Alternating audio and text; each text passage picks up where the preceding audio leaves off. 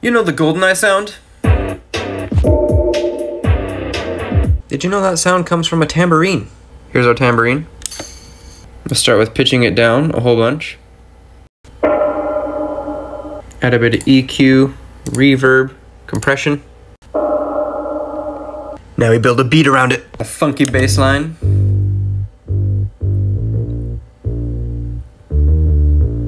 We'll add some drums, including our GoldenEye sound.